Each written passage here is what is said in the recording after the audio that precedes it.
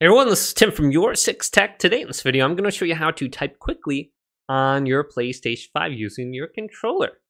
So if you press the PlayStation button and you go to a message and you want to type something in, it's very easy to type a little bit quicker. So let's bring open the on-screen keyboard.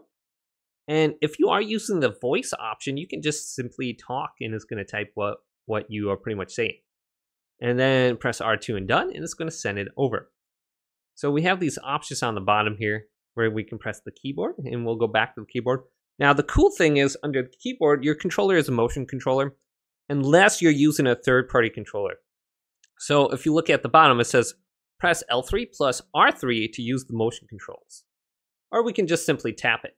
But you can see I'm moving around with my controller and I'm able to tap things and then send on over a message. So that makes it a lot easier uh, typing something out when you can just go boom, boom, boom, space, hey, hi, how you doing?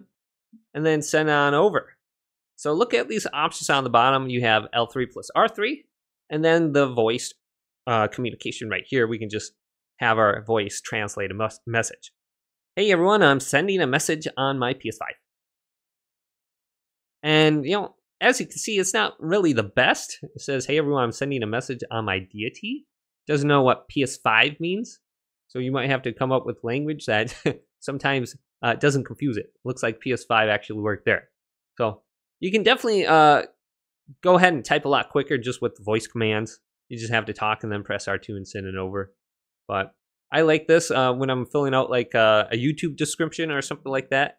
When I'm about to live stream, I'll just go ahead and just turn on the voice and then I just keep talking. It fills out the entire description on my YouTube live stream. So hopefully this video did indeed help you guys out. Did? Leave it a big thumbs up and subscribe my channel down below for more checkout videos coming up next on Your Six Tech.